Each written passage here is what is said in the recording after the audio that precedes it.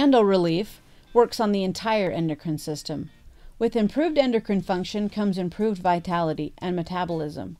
Our weight naturally balances and we have enough energy to last through the day and even into the night if we need to. The endocrine system, and consequently Endorelief, affects hormones, so it can moderate symptoms of menopause, including hot flashes. While Endorelief has a reputation for helping with the endocrine system, it also aids our emotional health as well. Because it strengthens and balances such a wide range of organs and glands that make up the endocrine system, as our bodies and minds begin to function better, we feel more secure in ourselves and we are able to establish or re-establish boundaries between ourselves and others. This doesn't mean that we become picky or rude, it just enables us to be tactful and firm while still being kind and concerned. This is one that I have used on my adrenals almost daily for years. Endo relief is best applied to the thyroid or the adrenal gland, but it can also be used in the tub and it can be diffused.